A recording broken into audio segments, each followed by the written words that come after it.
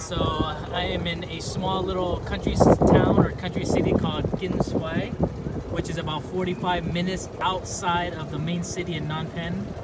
Riding a little small little boat, cruising down the Mekong River, Mekong River, and just checking out these little huts that people hang out with on the weekends. You can buy your food and you at the little market over here. You grab your food, your fruits, and then you just hang out in these little huts as long as you want. Skin, Skin Swai um, in non, near Phnom Penh.